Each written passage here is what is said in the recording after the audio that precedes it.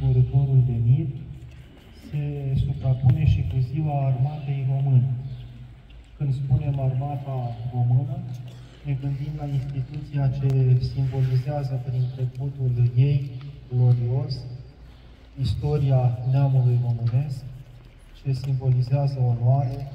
respect și responsabilitate. Este de datoria noastră a celor de astăzi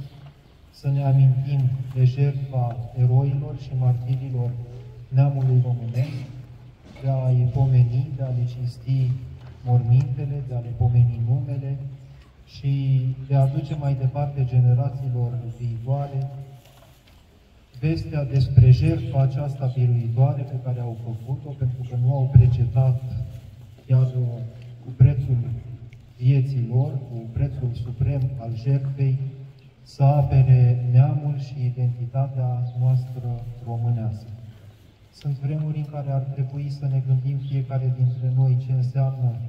să fii român, ce înseamnă să aparții unei nații, să aparții unei, unui neam, să aparții unui trecut glorios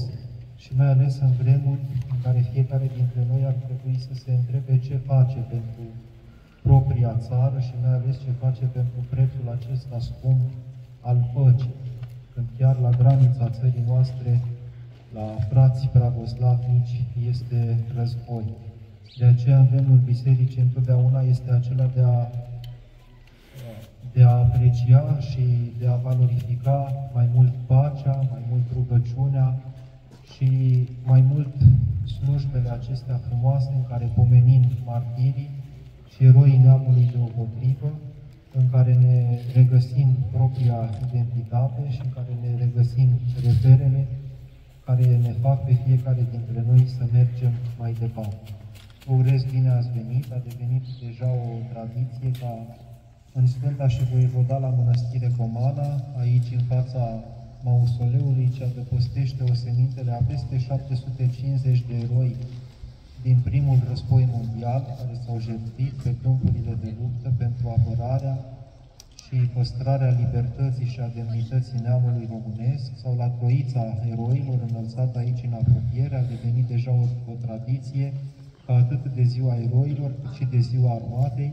de înălțarea Domnului sau în preajma prasnicului Sfântului Mare Mucenic Dimitrie, să facem aceste festivități frumoase în care pomenim eroii și martirii neamului românesc și în care îi cinstim și pe eroii vii care sunt printre noi.